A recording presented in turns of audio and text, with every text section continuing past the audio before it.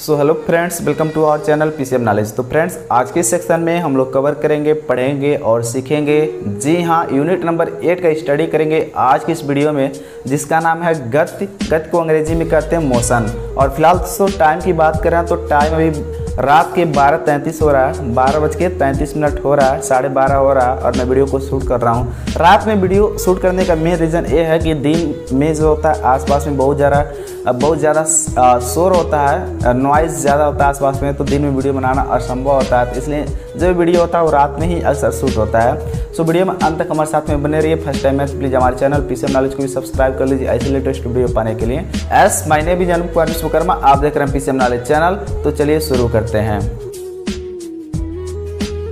तो फ्रेंड्स आज के सेशन में हम लोग कवर करेंगे, पढ़ेंगे और सीखेंगे। एन साइंस में आज हम लोग स्टडी करने वाले गति क्या होता है? तो सबसे पहले यहाँ पे डिफिनीसन पॉइंट जो भी, भी होता है उसका स्टडी करेंगे। अभी फ़िलहाल मैंने तुरंत पीडीएफ डाउनलोड किया इसका। और सबसे पहले आपको डिफिनीसन जो भी, भी होता है वो पूरा आपको बता देते हैं। देन अभ्यास प्रश्न का जो भी क्वेश्चन रहेगा उसको भी सॉल्व करने की कोशिश करेंगे। सो वीडियो में अंत तक हमारे साथ में बने रहिए। फ़र्स्ट टाइम आए तो प्लीज़ हमारे चैनल एम नॉलेज को भी सब्सक्राइब कर लीजिए। ऐसे लेटेस्ट वीडियो पाने के लिए। As name is Anup Kumar Vishwakarma आप देख रहे हैं एम नॉलेज चैनल तो चलिए शुरू करते हैं। तो ये जो चैप्टर है गति का मोशन का जो चैप्टर है मोस्ट इम्पोर्टेंट चैप्टर है। और देखिए, सबसे पहले इसमें आता है विराम और गति क्या होता है रेस्ट एंड मोशन क्या होता है। तो आइए इसका डिफिनीशन पढ़ते हैं। यदि किसी वस्तु की स्थिति किसी स्थित वस्तु के सापेक्ष समय के साथ में बदलती रहती है तो उसे गति की अवस्था में कही जाती है। जैसे चलती ट्रेन जो बिजली के पोल अथवा पटरे किनारे स्थित पेड़ पौधे के सापेक्ष अपनी स्थिति बदलती रहती है। और समय के साथ स्थित वस्तु के सापेक्ष स्थिति नहीं बदलने पर उसे विराम अवस्था भी कही जाती है। दूरी क्या होता है? डिस्टेंस क्या होता है? तो इसका डिफिनेशन होता है, वस्तु द्वारा किसी समयांतराल में तय किए गए मार्ग की संपूर्ण लंबाई को दूरी कहते हैं और इसको डी से लिखा जाता है और यह एक अधिस राशि होती है। अधिस राशि क्या होती है? जिसमें दिशा नहीं होती है, किसी भी डायरेक्शन में जा सकती है और यह हमेशा धनात्मक होती है पॉजिटिव होती है। आगे बढ़ते हैं। नेक्स्ट यहाँ पे टॉपिक्स पुटअप होता है कि विस्थापन क्या होता है, जिसको अंग्रेज़ी में कहते हैं डिस्प्लेसमेंट तो आइए इसको हम लोग डिफाइन करते हैं कि विस्थापन एक्चुअल में क्या होता है डिस्प्लेसमेंट क्या होता है। तो इसको डिफाइन करेंगे कि वस्तु की अंतिम स्थिति तथा प्रारंभिक स्थिति के बीच की दूरी को विस्थापन कहते हैं। विस्थापन एक सदिश राशि है और इसमें परिणाम एवं दिशा दोनों होते हैं। विस्थापन का मान धनात्मक, ऋणात्मक एवं शून्य कुछ भी हो सकता है। अब आइए इसको एक ग्राफ की हेल्प से समझते हैं कि विस्थापन को कैसे सेटिस्फाई किया जाता है। जैसे मान लो कि ए कोई दो अक्ष है ए एक्स अक्ष है और इसको मानते हो वाई अक्ष। तो यहाँ से कोई वस्तु यहाँ से चलती है, यहाँ पे आती है, यहाँ से फिर इस पॉइंट पे आती है। तो ये पूरी दूरी होती है, लेकिन जब इसका हम विस्थापन निकालते हैं तो विस्थापन ऐसे सीधे निकलती है। मतलब यहाँ से और यहाँ तक का जो डिस्टेंस होता है, वही क्या होता है? विस्थापन होता है। तो इसे ही कहते हैं डिस्प्लेसमेंट कहते हैं। किसी वस्तु की अंतिम दूरी तथा प्रारंभिक दूरी के डिफरेंस को ही वस्तु का क्या कहते हैं, विस्थापन कहते हैं डिस्प्लेसमेंट कहते हैं। नेक्स्ट टॉपिक से चाल किसे कहते हैं स्पीड किसे कहते हैं, जो कि मोस्ट इंपॉर्टेंट टॉपिक्स है। तो इसका डिफिनीसन है कि कोई वस्तु इकाई समय में जितनी दूरी तय करती है, उसे उसकी चाल कहते हैं। चाल एक अधिस राशि और उसका साई मात्रक मीटर प्रति सेकेंड होता है। इसको मीटर प्रति सेकेंड को शॉर्ट में ऐसे एम ऑब्लिक ऐसे लिखा जाता है। तो यही होता है, चाल होता है। मोस्ट इम्पोर्टेंट वेग क्या होता है, जो कि अक्सर कम्पिटेटिव एग्ज़ाम में पूछा जाता है और आपकी क्लास के एग्ज़ाम में भी पूछा जाता है। तो वेग को कहते हैं अंग्रेज़ी में वेलोसिटी क्या कहते हैं? वेलोसिटी और इसका डिफिनीसन होता है। कोई वस्तु इकाई समय में किसी निश्चित दिशा में जितनी दूरी तय करती है, यानी जितनी विस्थापित होती है, उसी वस्तु का वेग कहते हैं और यह एक सदिश राशि है और इसका सही मात्रा मीटर प्रति सेकेंड होता है और वेग धनात्मक, ऋणात्मक शून्य कुछ भी हो सकता है अच्छा बात करते हैं कि औसत चाल क्या होता है एवरेज स्पीड क्या होता है? तो आइए इसको समझने की कोशिश करते हैं। तो इसको डिफाइन करेंगे, जब वस्तु भिन्न भिन्न चालों से समान दूरी तय करती है, यदि कोई वस्तु किसी दूरी को चाल से तय करती है और उसके बाद उतनी ही दूरी ज़ीरो दशमलव ज़ीरो दो चाल से तय करती है मतलब टू वेग से चाल करती है तो संपूर्ण यात्रा में उसकी औसत चाल क्या होती है? Two v one into v two upon v one plus v two होती है। औसत चाल क्या होती है? किसी चाल इक्वल टू होता है दूरी बटे समय। मतलब कुल दूरी बटे कुल समय के अंतराल को ही क्या कहते हैं? औसत चाल कहते हैं एवरेज स्पीड कहते हैं, ठीक है?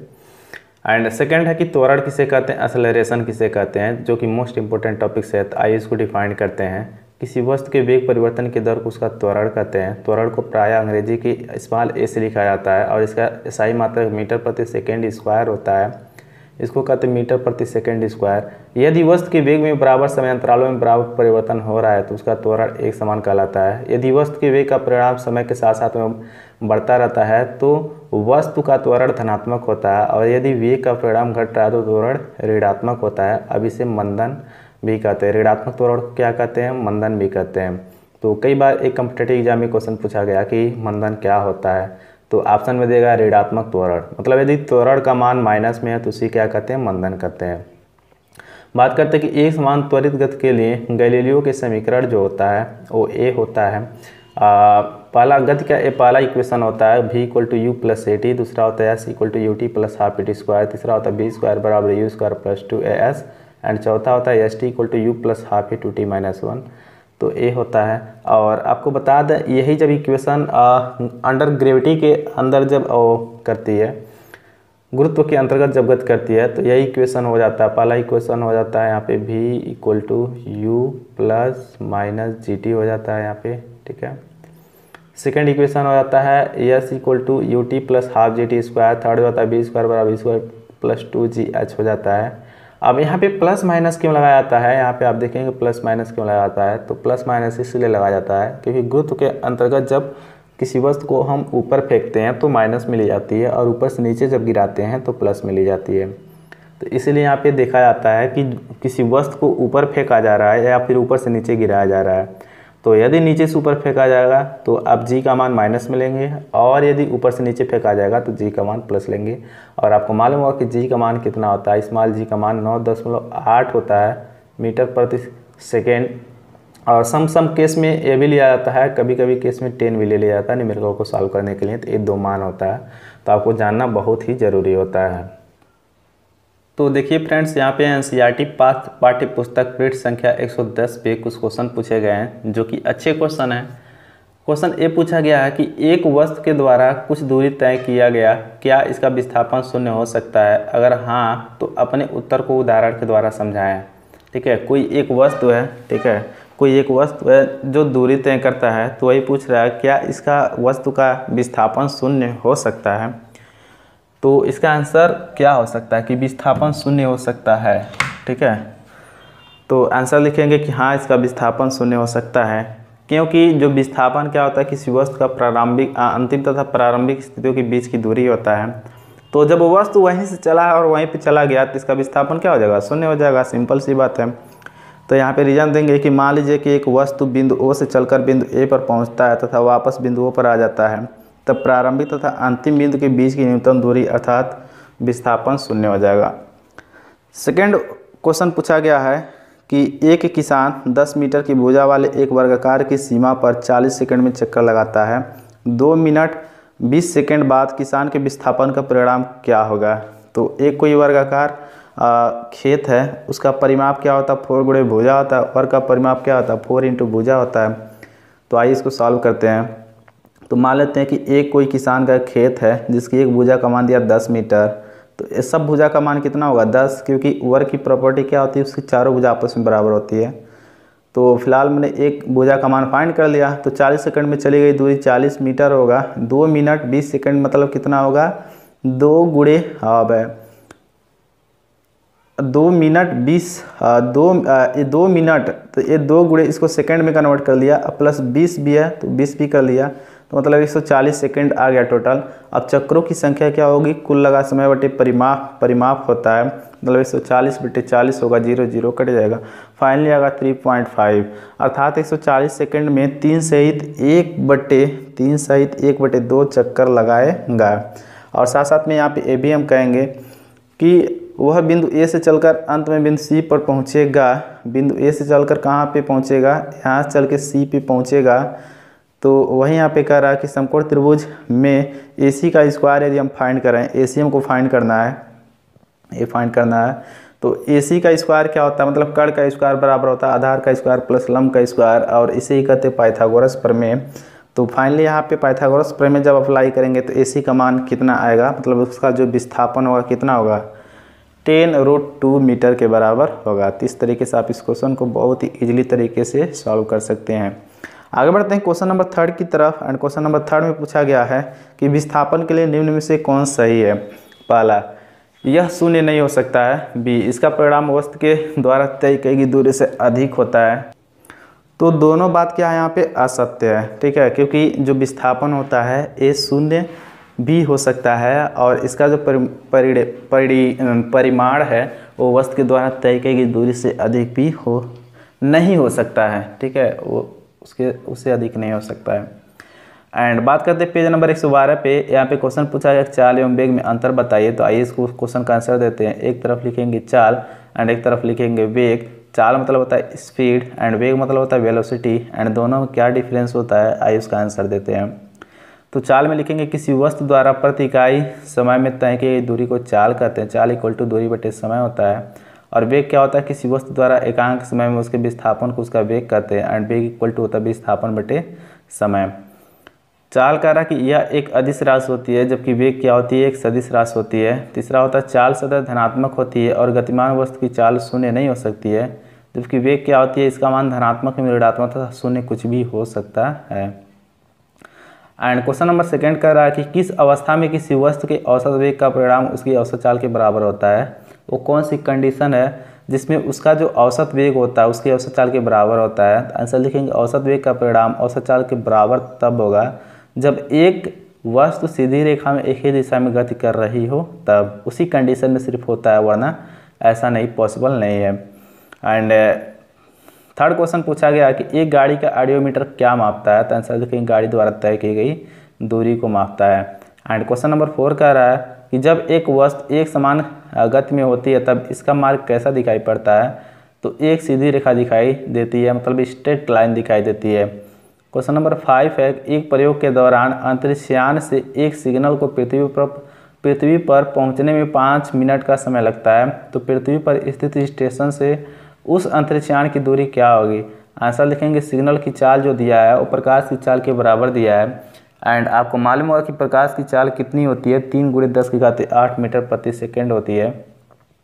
इसको कहते हैं मीटर प्रति सेकेंड। तो सिग्नल की चाल इतना है तो सिग्नल को पृथ्वी तक तो पहुँचने में लगा समय पाँच मिनट। इसको सेकेंड में कन्वर्ट करेंगे तो पाँच गुड़े साठ हो जाएगा, क्योंकि एक मिनट में साठ सेकेंड होते हैं। तीन सौ सेकेंड हो गया तो पृथ्वी पर स्थित स्टेशन से अंतरिक्ष यान की जो दूरी होगी चार गुड़े समय के बराबर होगी।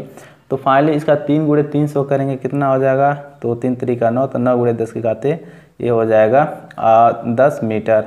तो ये इसका क्या हो जाएगा? आंसर हो जाएगा। मतलब सिग्नल को पृथ्वी पर पहुँचने में आ, इतना लगता है तो पृथ्वी से स्थित स्टेशन से अंतरिक्षयान की दूरी कितनी होगी? नौ गुड़े दस के खाते दस मीटर होगी। ऐसे ही एन पाठ्य पुस्तक में पृष्ठ संख्या 114 पर भी बहुत सारे क्वेश्चन पूछे गए हैं, जो कि काफ़ी इंपॉर्टेंट होते हैं। एंड क्वेश्चन कह रहा कि वह, आप किस वस्तु के बारे में कब कहेंगे? आप किसी वस्तु के बारे में कब कहेंगे कि वह एक समान त्वरण से गतिमान है? बी सेकेंड वह असमान त्वरण से गतिमान है। तो एक समान त्वरण और असमान त्वरण क्या होता है? इसी के डिफिनेशन यदि हम पढ़ लेते हैं तो यहाँ पे बहुत ईजिली तरीके से कह सकते हैं कि कोई एक वस्तु है। तो एक समान त्वरण से कब गतिमान है और असमान त्वरण से कब गतिमान है। तो आइए पढ़ते हैं, एक समान त्वरण मतलब यूनिफॉर्म असलरेशन एंड इसका डिफिनेशन होता है, जब कोई वस्तु एक सरल रेखा में चलती है और उसका वेग समान समयांतरालों में समान रूप से बढ़ता अथवा घटता है तो वस्तु के त्वरण को एक समान त्वरण कहा जाता है। एंड सेकेंड है कि असमान त्वरण क्या होता है? नॉन यूनिफॉर्म एसलरेशन क्या होती है?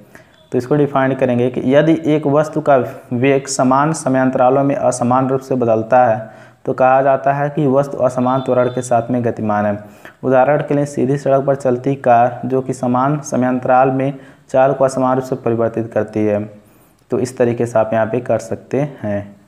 एंड क्वेश्चन नंबर सेकंड में न्यूमेरिकल पूछा गया, जैसा कि मैंने आपको पहले ही बताया था कि ये जो चैप्टर है न्यूमेरिकल टाइप में क्वेश्चन है और इसको सॉल्व करने में बहुत ही मज़ा आता है, जो कि ये फिजिक्स का पार्ट होता है। जो साइंस होता है, इसमें तीन तीन कैटेगरी में डिवाइड होता है। फिजिक्स होता है केमिस्ट्री होता है बायोलॉजी होता है, लेकिन ये जो हम लोग पढ़ रहे हैं एक इसका पार्ट है? और फिजिक्स का पार्ट है, जो कि काफ़ी अच्छा है। तो आइए इसको सॉल्व करते हैं। तो यहाँ दिया है कि प्रारंभिक वेग यू का मान 80 kilometre per hour and um, पहले क्वेश्चन तो पढ़ लेते हैं। एक बस की गत पाँच सेकंड में 80 किलोमीटर पर आवर से घटकर 60 किलोमीटर पर आवर हो जाती है तो उसका त्वरण आपको फाइंड करना है।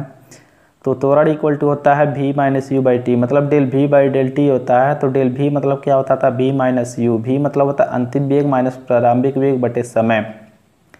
तो प्रारंभिक वेग 80 किलोमीटर पर आवर दिया इसको मीटर प्रति सेकंड में कन्वर्ट करेंगे तो किलोमीटर में हज़ार मीटर होता है। एंड घंटे में साठ मिनट होता है और साठ मिनट एक घंटे में साठ मिनट होता है और एक मिनट में साठ सेकेंड होता है। तो फाइनली इसको भी सेकंड में कन्वर्ट करेंगे तो फाइनली ए चीज़ जाएगा बाईस दशमलव दो दो मीटर पर सेकेंड एंड अंतिम वेग दिया साठ किलोमीटर पर आवर।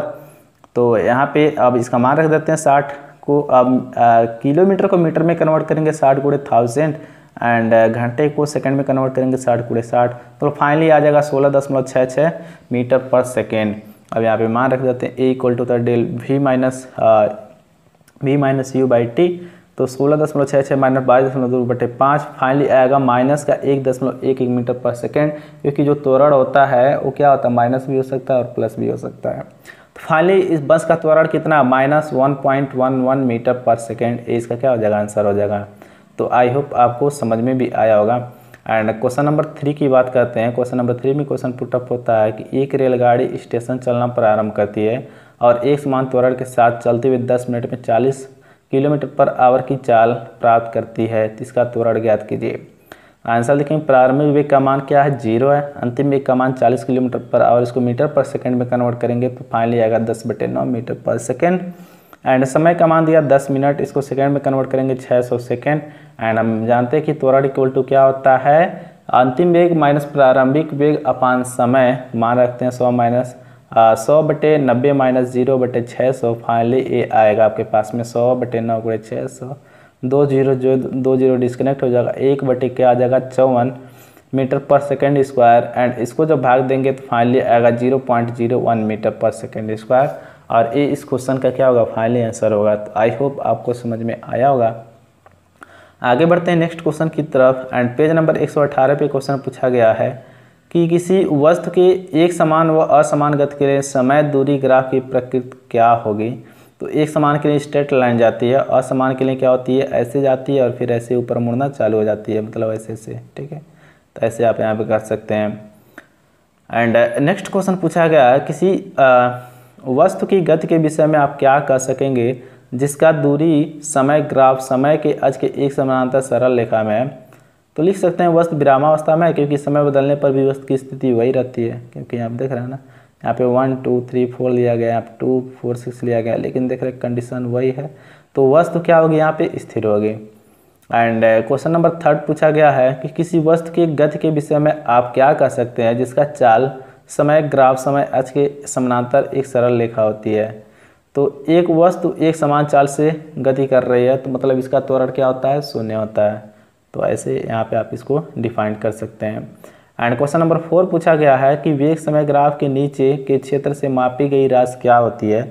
तो आंसर लिखेंगे, तय की गई दूरी विस्थापन का परिणाम होता है। एंड पेज नंबर एक सौ इक्कीस पे भी क्वेश्चन पूछा गया है कि कोई बस विरामावस्था से चलना प्रारंभ करती है तो दो मिनट तक zero point one metre per second के एक समान त्वरण से चलती है तो परिकलित कीजिए, प्राप्त की गई चाल तथा तय की गई दूरियों को फाइंड करना है। तो फ़र्स्ट ऑफ़ ऑल हमको मालूम है कि u, जो वस्तु का प्रारंभिक वेग ज़ीरो है, त्वरण का मान zero point one metre per second square है एंड t का मान दिया यहाँ पे दो दो मिनट दिया है तो मिनट को मिनट को सेकंड में कन्वर्ट करेंगे तो 120 सेकंड हो जाएगा। एंड हमें फाइंड करना भी एस एंड इसमें लगाते गत का पहला समीकरण जो कि भी इक्वल टू होता है यू प्लस ए टी तो यहाँ पे यू का मान ज़ीरो यू प्लस ए का मान zero point one and t का मान 120 अभी फाइंड किए हैं तो फाइनली आ जाएगा 12 मीटर पर सेकेंड। एंड सेकेंड में लगाते हैं गति का तृतीय समीकरण भी square equal to u square plus two a s तो यहाँ से हम देखिए एस फाइंड कर लेंगे तो भी का मान तो अभी मालूम चल गया। बारह है तो बारह का स्क्वायर यू का मान ज़ीरो है ए का मान है इतना एंड टू का मान इतना तो फाइनली एस यहाँ से जब फाइंड करेंगे तो ए आएगा एक सौ चौवालीस equal to zero point two s तो एस इक्वल टू करेंगे एक सौ चौवालीस बटे zero point two means finally इसको इंटीजर में कन्वर्ट करेंगे तो सात सौ बीस मीटर आ जाएगा तो ए एस का मान हो जाएगा। तो इस तरीके से आप इसको सॉल्व कर सकते हैं। तो आई आई होप आपको समझ में आया होगा इसका solution and question number second की बात करते हैं, जो कि मोस्ट इंपॉर्टेंट क्वेश्चन है एंड इस पर क्वेश्चन पुटअप होता है कि कोई रेलगाड़ी 90 किलोमीटर पर आवर की चाल से गति कर रही है। ब्रेक लगाने पर वह minus zero point five metre per second के एक समान त्वरण उत्पन्न करती है। तो रेलगाड़ी विरामावस्था में आने के पहले कितनी दूरी तय करेगी? ठीक है? मतलब जब ब्रेक लगाया जाता है रेलगाड़ी में और रुकने तक कितना डिस्टेंस तय कर सकती है? जबकि इसमें दिया गया है, रेलगाड़ी की चाल इतना है ब्रेक लगाने पर इतना त्वरण उत्पन्न करता है। तो फाइनली यू का मान दिया 90 किलोमीटर पर आवर इसको मीटर पर सेकंड में कन्वर्ट करेंगे तो 25 मीटर पर सेकंड हो जाएगा। एंड ए का मान दिया 0.5 मीटर पर सेकंड स्क्वायर एंड रेलगाड़ी विरामावस्था में तो बी का मान क्या होगा? ज़ीरो हो जाएगा। एस का मान हमें पूछ रहा है। तो फाइनली इसमें गति का तैतीस समीकरण लगाते बी स्क्वायर बराबर u square plus two a s v का मान क्या दिया? क्योंकि जब रेलगाड़ी रुकेगी तो उसका अंतिम में क्या हो जाएगी? ज़ीरो हो जाएगी। तो ज़ीरो हो गया। एंड फाइनली यहाँ पे मान रखते हैं।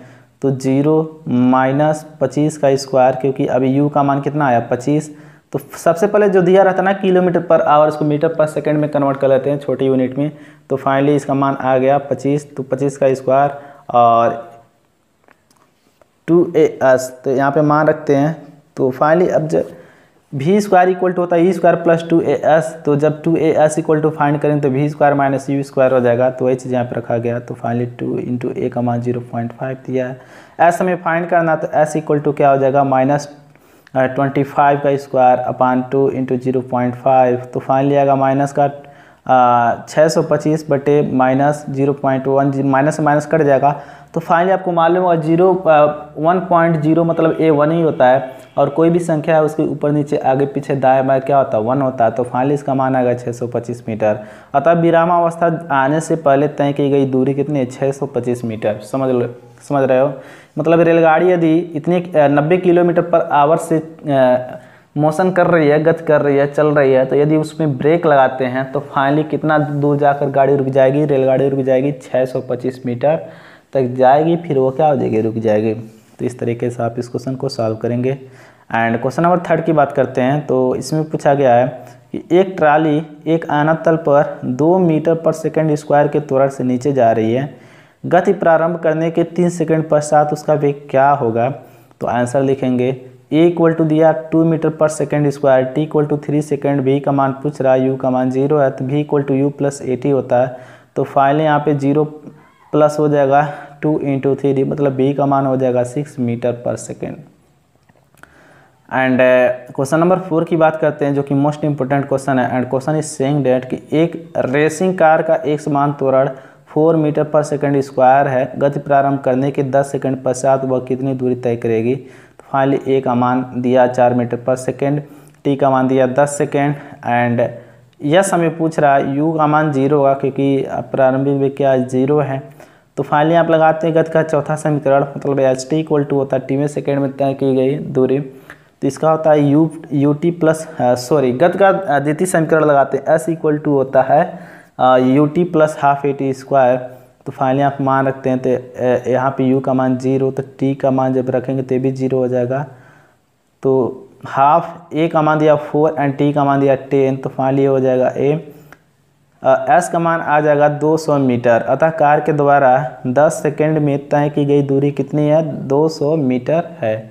तो गत के द्वितीय समीकरण लगाकर आप बहुत ही आसानी तरीके से फाइंड कर सकते हैं। और फ्रेंड्स मैं आपको एक चीज़ बता दूँ कि गति का जो चारों समीकरण होता है, वो सिंपल वाला भी और गुरुत्व के अंतर्गत भी आपको याद करना ज़रूरी होता है, क्योंकि यदि आप याद नहीं करते हो तो आपको शायद सवाल लगाने में बहुत ही दिक्कतों का सामना करना पड़ सकता है। तो आइए क्वेश्चन नंबर फिफ्थ का हम लोग सॉल्यूशन करते हैं। एंड क्वेश्चन नंबर फिफ्थ में क्वेश्चन पूछा गया है कि किसी पत्थर को ऊर्ध्वाधर ऊपर की ओर फाइव मीटर प्रति सेकंड के वेग से फेंका जाता है। यदि गत के दौरान पत्थर का नीचे की ओर दिष्ट त्वरण 10 मीटर प्रति सेकंड स्क्वायर है तो पत्थर के द्वारा कितनी ऊंचाई प्राप्त की गई तथा उसे वहाँ पहुँचाने में कितना समय लगा?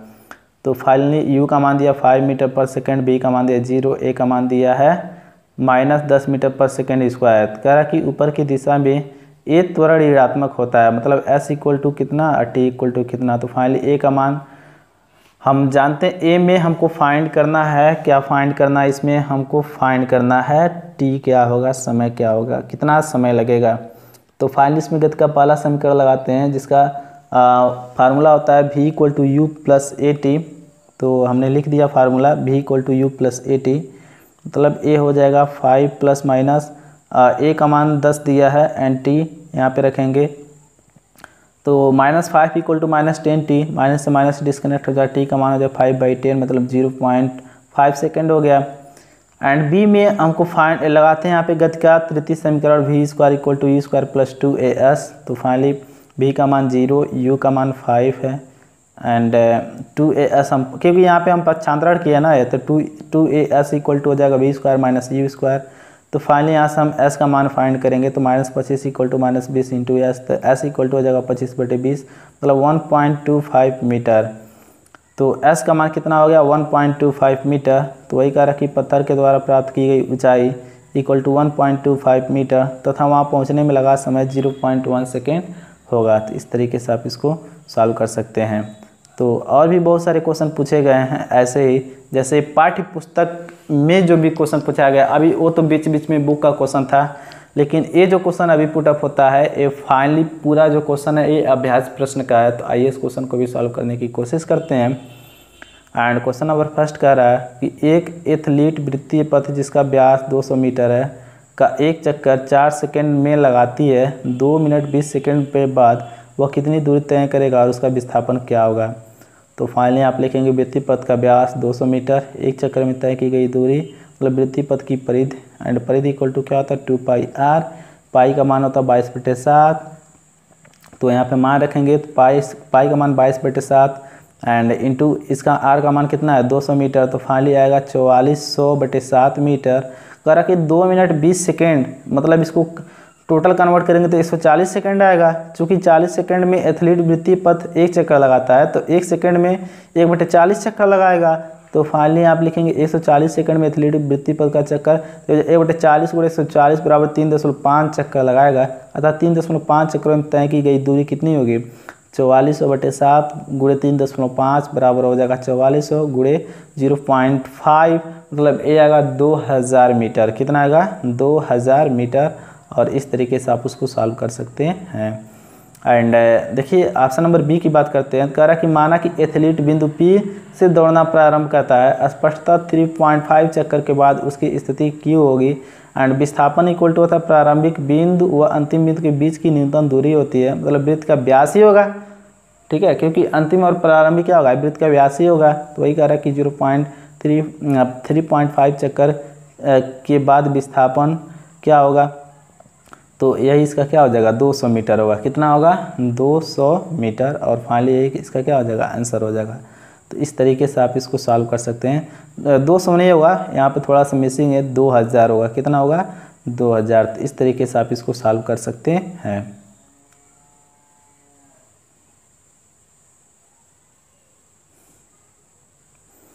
क्वेश्चन नंबर फोर की बात करते हैं। क्वेश्चन नंबर फोर में क्वेश्चन पुटअप होता है कि कोई मोटर बोल झील में विस्थापन से सरल रेखी पथ पर three three point zero metre पर सेकेंड के नियत त्वरण से टी इक्वल टू आठ सेकेंड तक चलती है तो इस समय अंतराल में आ, मोटर आ, मो, मोटर बोट कितनी दूरी तय करेगी? तो फाइनली इस क्वेश्चन का आंसर देते हैं।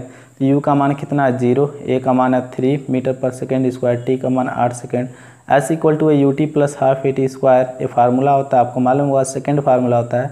तो यहाँ पर मान रखते हैं ये हो जाएगा यू का मान zero into T plus half into A का मान दिया थ्री एंड t का मान दिया हुआ है, यहाँ पे आठ सेकेंड तो ए आठ का स्क्वायर हो जाएगा तो फाइनली आठ हट यहाँ चौंसठ तो हाफ़ इंटू थ्री इंटू चौंसठ, बराबर छानवे मीटर। अतः मोटर बोल द्वारा तय की गई दूरी कितनी होगी? छानवे मीटर होगी। तो इस तरीके से आप इसको सॉल्व कर सकते हैं।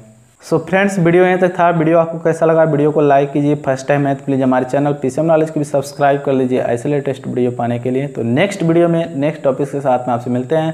Thanks for watching